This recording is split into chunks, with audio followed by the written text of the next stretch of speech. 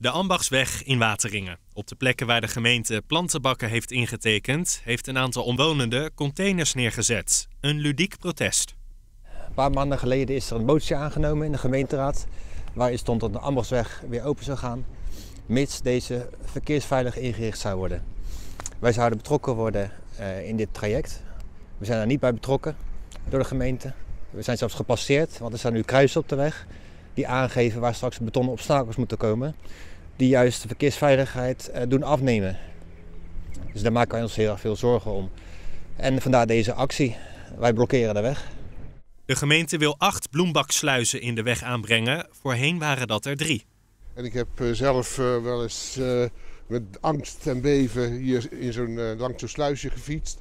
En dan, ja, dan kwamen de auto's, die wilden nog net op tijd op school kunnen zijn voorgaan voor een andere auto. En dan uh, word je gewoon gepakt door de auto. En er zijn ook uh, twee keer hier scootmobiels omgegaan doordat hetzelfde gebeurde. De bedoeling is dat de poller die de Ambachtsweg nu bij de Erasmusweg afsluit, over twee weken definitief naar beneden gaat. Voordat dat gebeurt, schijnt er nog een gesprek met de gemeente te komen. Wordt vervolgd.